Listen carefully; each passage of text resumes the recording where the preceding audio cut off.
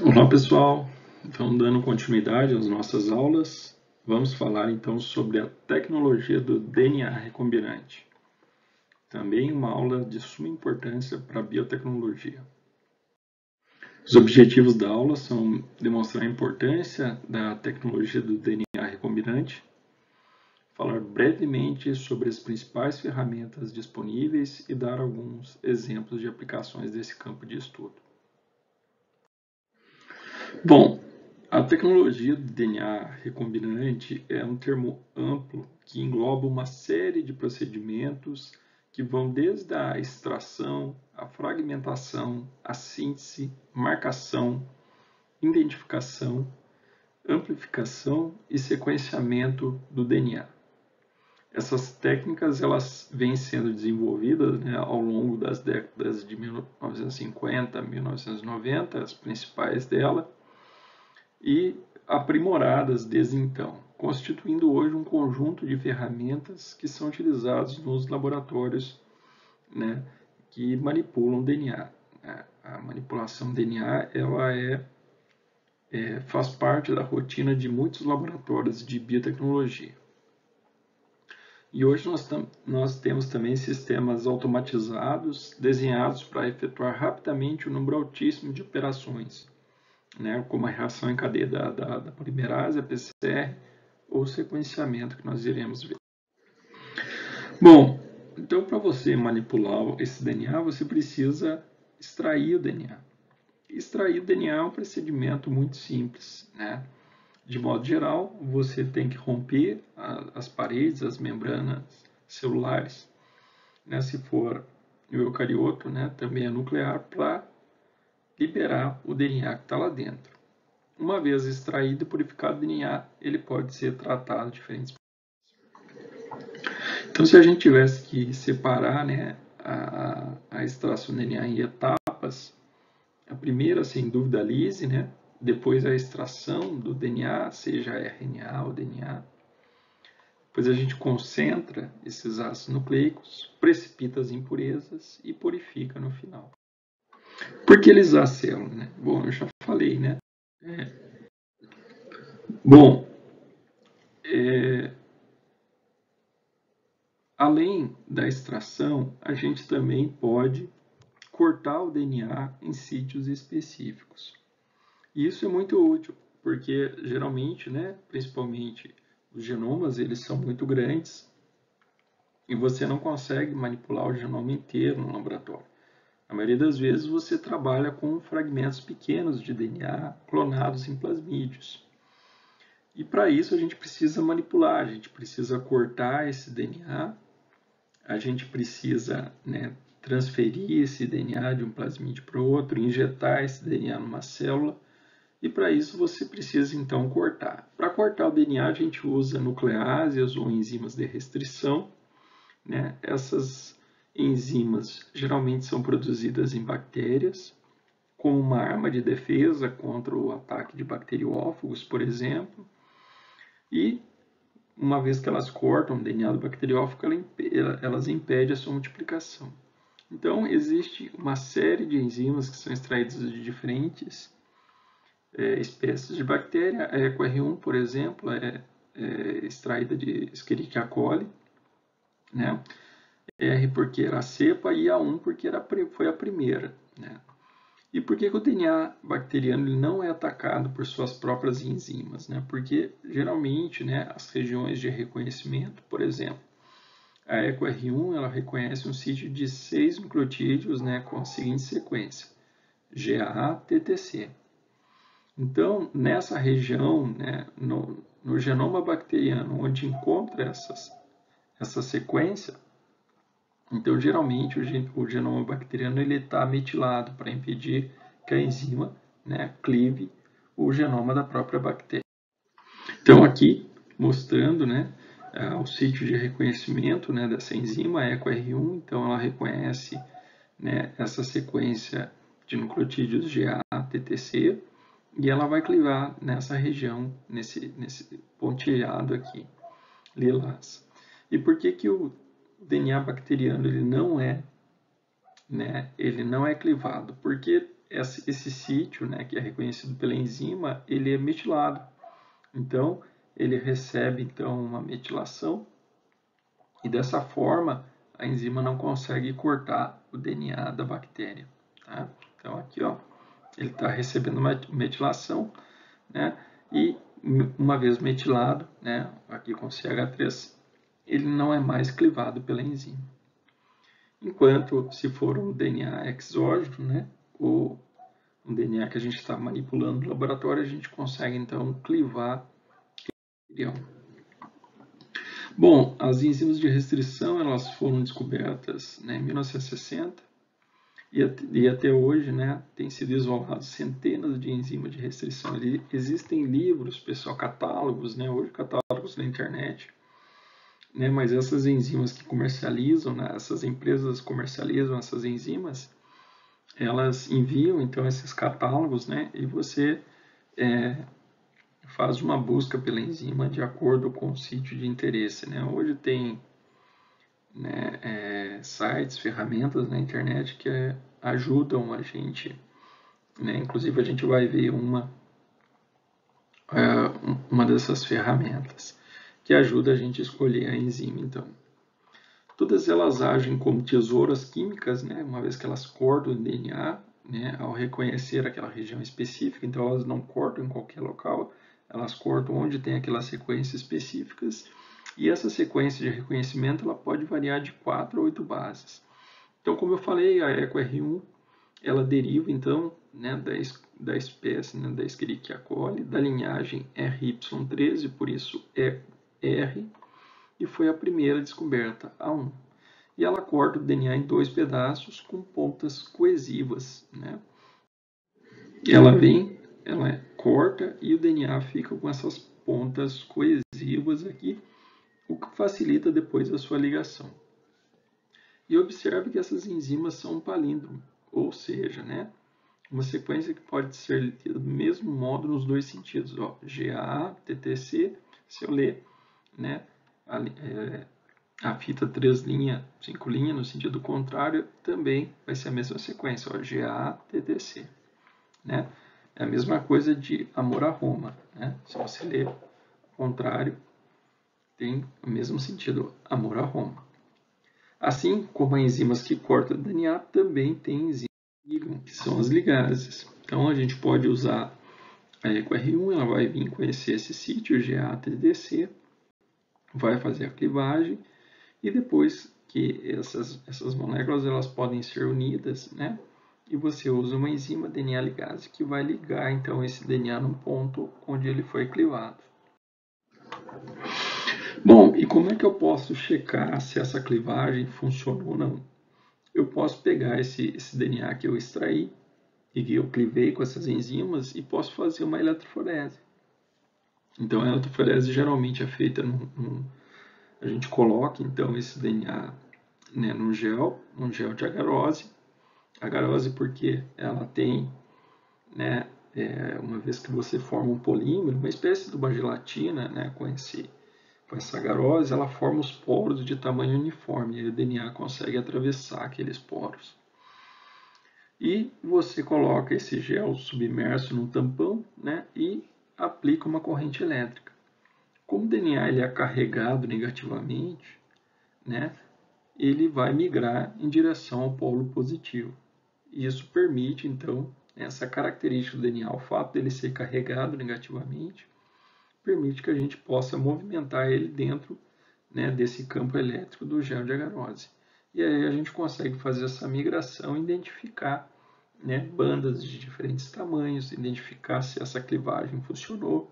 Né? Então você pode correr ali o seu DNA não clivado e clivado ao mesmo, né, paralelamente, se o DNA for clivado, né, ele vai ter duas bandas, então essas bandas vão se distanciar.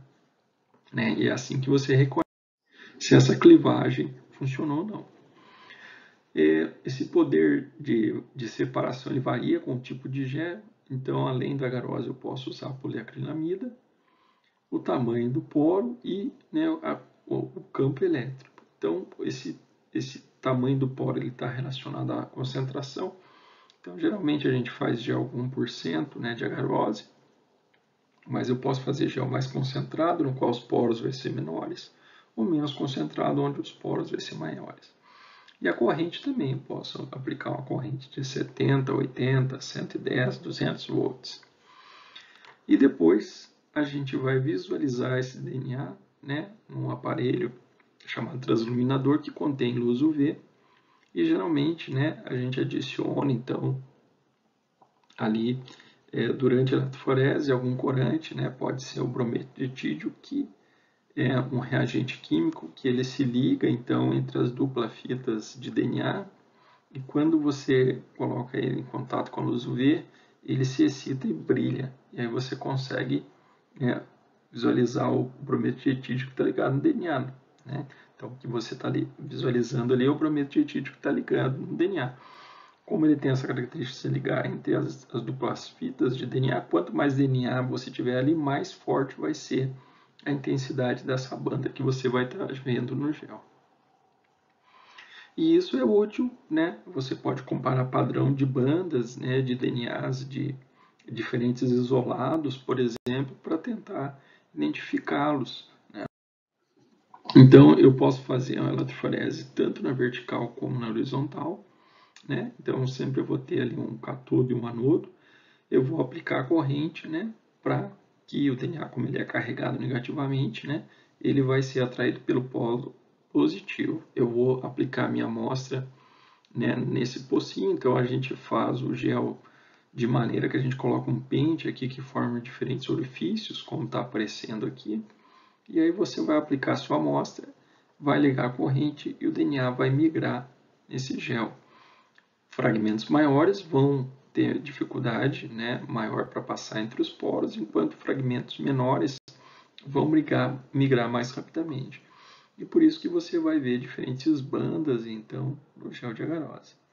Né? Então é assim né, que a gente faz eletrocorrente. Ó. Então, né, com mais tempo de corrente, é possível ver então né, que o DNA migrou então, né, e aí as bandas foram se separando. Aqui um exemplo né, de um gel, tá bem? Então é assim que a gente visualiza o gel, né, o DNA no gel de agarose. Então, uma das primeiras aplicações da eletroforese, né, dos fragmentos de restrição, foi para estudar o polimorfismo, ou seja, a diferença né, na sequência do DNA. Se a gente sabe né, que a enzima ela, ela reconhece um sítio específico, né, por exemplo, GATTC, se eu tiver uma mudança nesse sítio, a enzima não vai mais reconhecer aquela, aquela posição do DNA. E, consequentemente, né, os fragmentos originados eles vão ter tamanhos diferentes. E isso foi dado o nome de Restriction Fragment Length Polymorphism. Na sua tradução, né, seria o polimorfismo né, no, no tamanho, né, ou a diferença no tamanho dos fragmentos após a, a clivagem ou a restrição, né, a clivagem com a enzima de restrição. E esse perfil formado pelo, né, por essa técnica de RFLP pode ser estudado do mesmo modo que um gene determina um caráter visível ou modificação. Então, por exemplo, é, eu tenho aqui é, amostras né, diferentes, aqui a 1 e a 2, né, três amostras diferentes, um homocigoto, heterozigoto e outro homozigoto, e com pontos de clivagem diferentes. Então, por exemplo, o A1 ele não tem sítio de, de reconhecimento para enzima, então ele não é clivado. O A2 já é clivado em determinada posição. Então, se eu tiver aqui né, um homozigoto A1, não vai ter, eu vou ter só uma banda, porque ele não foi clivado. Se eu tiver um heterozigoto A1, A2, eu vou ter a banda A1 que não foi clivada e a banda 2 que foi clivada em dois pedaços. E se eu tiver um homozigoto A2, como ambos os fragmentos foram clivados na mesma posição, eu vou ter duas bandas da mesma altura. Ah, então, esse é um exemplo. Bom, além disso, o DNA ele também pode hibridizar, né? Ele pode então, né, da mesma forma que eu posso separar essas fitas, essas fitas elas se unem também, né? E essa união ela vai dar através né, do reconhecimento né, dessa complementariedade do DNA, né, que adenina se liga a timina e citosina se liga a guanina. Então, quando o DNA é colocado em determinadas condições de temperatura, pH e concentração salina, os dois filamentos né, da hélice eles se separam. Então, se aumenta a temperatura, eles se separam. Essa dissociação, essa separação, ela quebra a ligação de hidrogênio entre as bases complementares. E quando eu diminuo essa temperatura, eu volto, então, né, essa temperatura vai baixando, essa, as fitas que foram separadas, elas se ligam novamente. E a gente pode usar essa propriedade do DNA para fazer né, é, diferentes aplicações, entre elas o diagnóstico, por exemplo. Isso também ocorre entre filamentos de DNA ou de RNA de diferentes origens e tamanhos, desde que eles sejam complementares. Então, eu posso usar uma sonda, por exemplo, para reconhecer determinada região no DNA. Né? Então, e essa eu posso marcar essa, fonda, essa sonda de maneira radiativa, radioativa, né?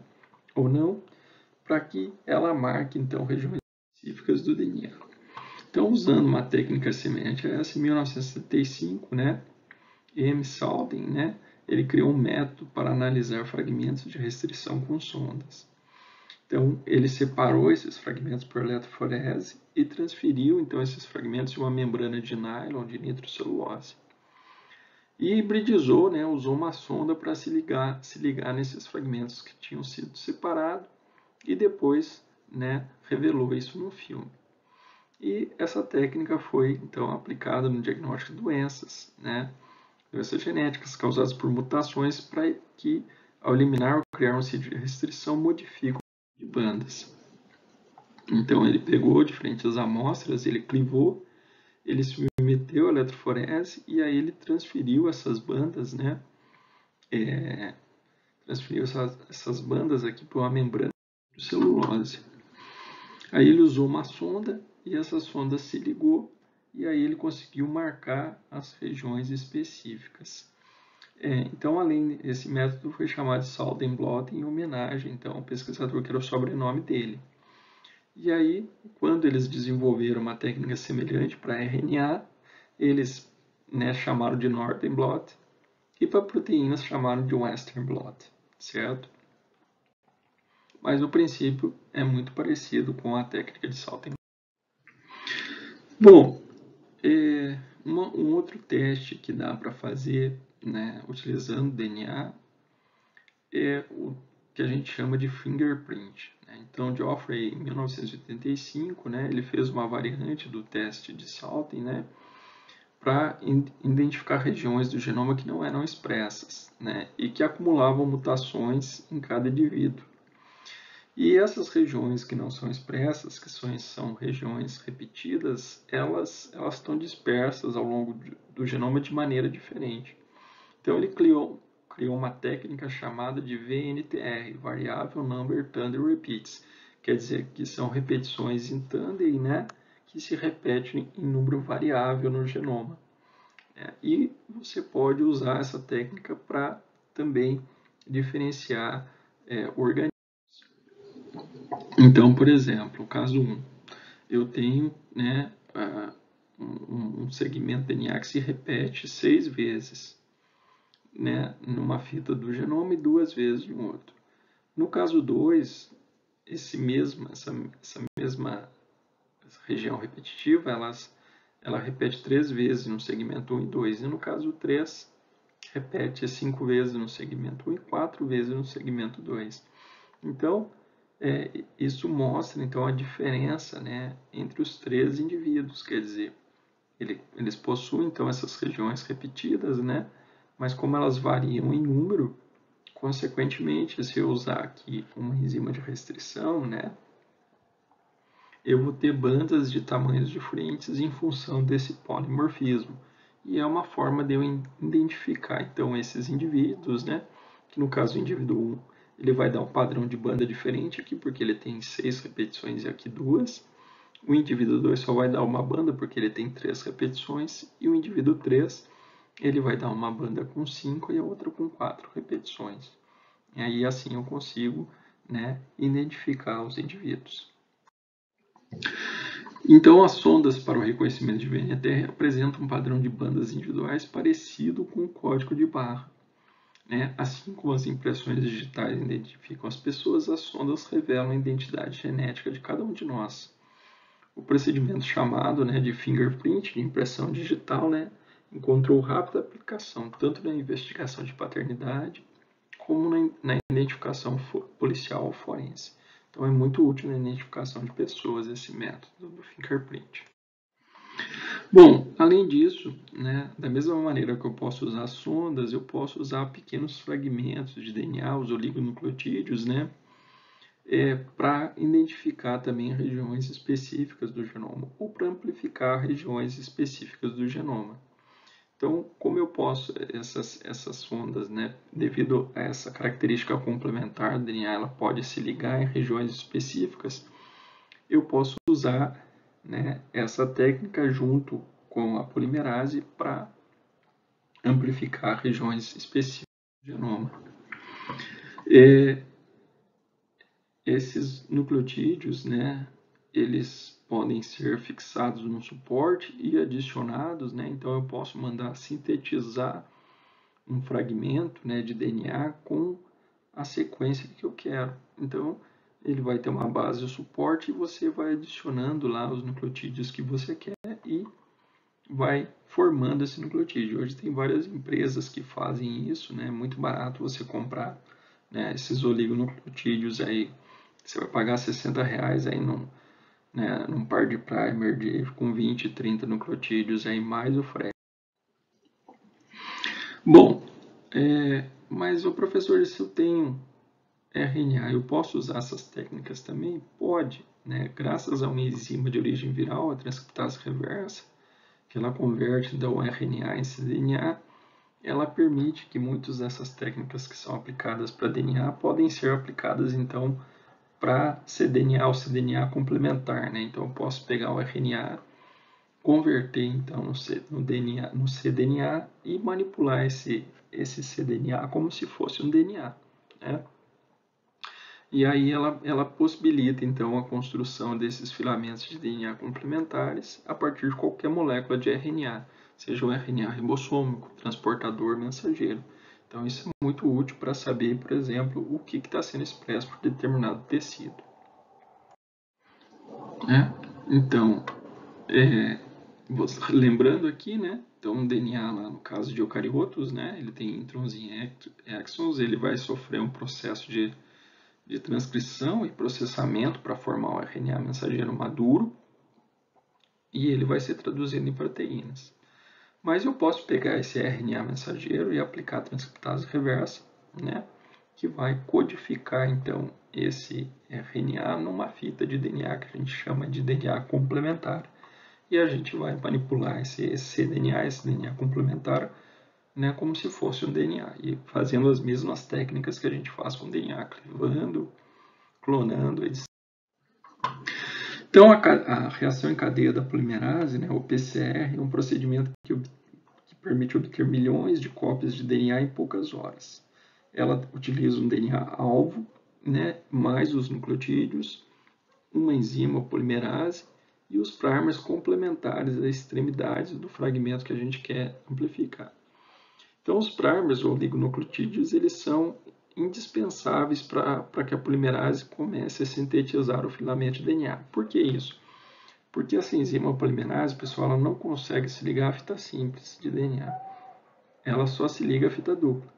Então eu posso usar esse oligonucleotídeo que vai reconhecer uma região específica do DNA. Ele, ele vai vir, vai se ligar ali, com isso a polimerase vem, se liga nele e começa a fazer a síntese.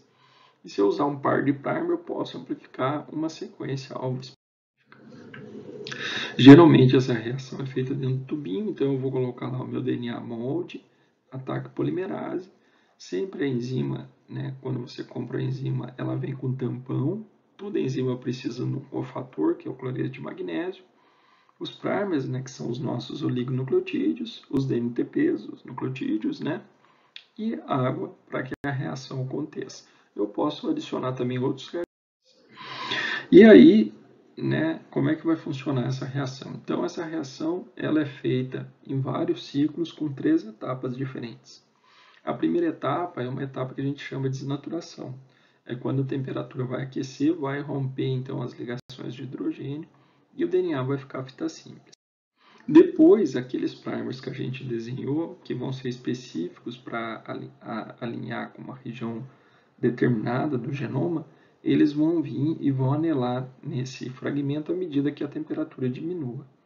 E aí eu vou usar uma enzima, né, que é a polimerase, que é extraída do termos aquáticos.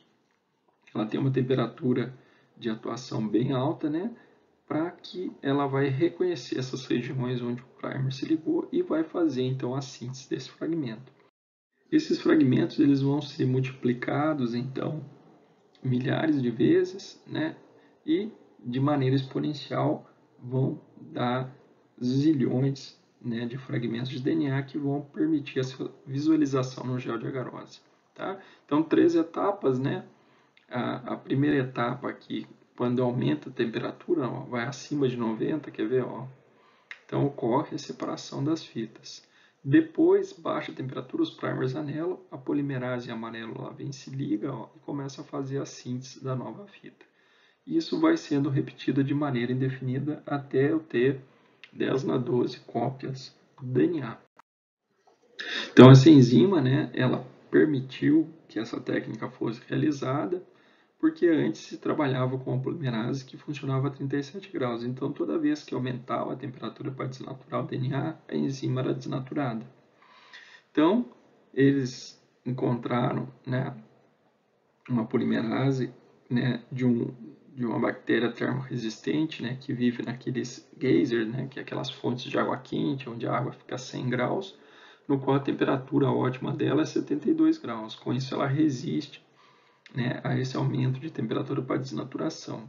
E aí ela consegue, né, você consegue trabalhar com ela né, nesse sistema de ciclagem, onde a temperatura aumenta e diminui várias vezes, né, até ao final da reação, onde você vai ter ali bilhões de cópias daquele fragmento e você pode fazer as análises necessárias. Né? Então, em determinado momento, né, esse número de cópias ele vai aumentando, né? de uma cópia eu tenho duas, de duas eu tenho quatro, oito, 16, 32, até que eu chegue no limite onde eu vou atingir um platô, por quê? que eu atingi um platô? Porque todos os reagentes que estavam aqui no meio, como primers, DNTPs foram consumidos e a própria enzima, né? E aí não vai haver mais amplificação, por isso que eu tenho uma linha básica ali. Isso geralmente acontece no final de 30 a 35 ciclos. A empresa Cepos que comprou né, do seu inventário, o Carl Mullins, né, ele morreu, acho que foi esse ano, ano passado, comprou a patente da PCR por 10, 10 mil dólares vendendo pouco tempo depois né, ao Hoffman, a Roche, por 300 milhões. Hoje se trata né, da, da, técnica mais corriqueira, praticamente você tem termociclador em todos os laboratórios. Né? E mais tarde, em 1993, Mills recebeu o prêmio Nobel, né, um milhão né, de dólares pela invenção da PCR. E depois disso, o pessoal não quis saber mais de pesquisa, ele foi surfar e curtir a vida doidada. Então, o sucesso da PCR se deve à sua extraordinária versatilidade, permitindo que seja utilizada na agricultura, medicina veterinária, estudos ambientais, testes, diagnóstico e medicina forense. Entre suas muitas aplicações, estudos antropológicos evolutivos, tais como extração de DNA de múmias egípcias de animais extintos, como um tipo de zebra e de insetos presos em âmbar de 40 milhões de anos atrás. Então, ela tem né, uma infinidade de usos e por isso que ela é muito utilizada. Bom, o sequenciamento DNA ele foi desenvolvido né, por Frederick Sanger em 1977, né, e esse sistema ele veio ser automatizado mais tarde, permitindo então né, é, que esse sequenciamento fosse feito numa velocidade maior. Então, uma vez determinada a sequência de várias amostras, inicia-se a montagem né, da informação armazenada em bancos de dados. O método de sequenciamento, né, determinadores de cadeia, que foi desenvolvido por Sanger, né, o primeiro artigo aqui foi publicado em 75 e depois, em 77, né, é, que foi publicado. Né, então, o método de sequenciamento né, com terminadores. Como é que funciona essa técnica, pessoal? Então, igualmente, eu vou utilizar um primer que vai se ligar e depois eu vou utilizar um conjunto de nucleotídeos que entre eles eu vou ter um nucleotídeo terminador de cadeia. E toda vez que ele for adicionado no processo de sequenciamento, ele vai interromper ele vai interromper então a síntese, a polimerase vai ser bloqueada. Isso vai ser sendo feito repetidas vezes até que eu tenha fragmentos de diferentes tamanhos, né, com a diferença de uma base. E é como eu tenho fragmentos com diferença de uma base, eu consigo identificar a sequência. Por quê? Porque sempre esses nucleotídeos marcados, é, esses nucleotídeos terminadores de cadeias, eles são marcados. Então eu consigo determinar qual é a sequência que está sendo adicionada. Então, é, um nucleotídeo normal, eu tenho né, um H livre que permite que outro nucleotídeo seja adicionado. Já um nucleotídeo terminador de cadeia, eu não tenho H, tenho só hidrogênio, com isso ele bloqueia né? E a cada, a cada adição desse nucleotídeo, né, que está marcado né, com um fluoróforo diferente, eu consigo identificar qual que é a base naquela posição. E eu vou fazendo isso repetidas vezes até que toda a sequência ela esteja determinada. Geralmente ela aparece na forma de picos, que é esse eletroferograma, né, onde cada pico com uma cor diferente corresponde a uma base. E assim a gente vai determinando a sequência Ele, o, né, o, método Sanger, né, ele, ele possibilitou estudos de numerosos genomas, né, e depois que ele foi automatizado, né, ele permitiu então um sequenciamento né, de, de genomas maiores, até que veio a necessidade né, de, um, de, um, de uma nova geração de sequenciamento, né, isso aconteceu a partir de 2006, que fez com que fosse desenvolvido sequenciamento de nova geração, embora o Sanger continue sendo usado até hoje. Então, como sequenciamento de nova geração, né, nós temos duas principais técnicas, que é o Ion Torrent e, né, da Termo e o MySec da Illumina, que geram então a grande quantidade né, de dados no menor volume por base. Né? E com isso, né, com, como esses métodos são mais eficientes, eles são mais rápidos, eles geram mais dados e fizeram também com que o custo de sequenciamento, que lá em 2004 era na, na casa de 1.500 dólares, caísse para centavos de dólar. Né? Então, esse gráfico mostra o custo de sequenciamento né, a cada mil pares de base, que já chegou a 10 mil dólares, e hoje está na casa de centavos de dólares. Isso fez com que aumentasse, então, o volume de dados né, sequenciados e colocados no banco de dados. Então a gente pode ir lá, a gente pode pegar esses dados, podem fazer análises filogenéticas para estabelecer relações de parentesco entre as espécies. Né? Isso abriu caminho para uma série de estudos né? e também para descobrir diferenças genéticas né, que afetam a saúde Consequentemente, né, com essas novas tecnologias, o volume de dados hoje né, ele, ele não para de crescer e, na verdade, a gente tem mais dados do que capacidade de processar esses dados.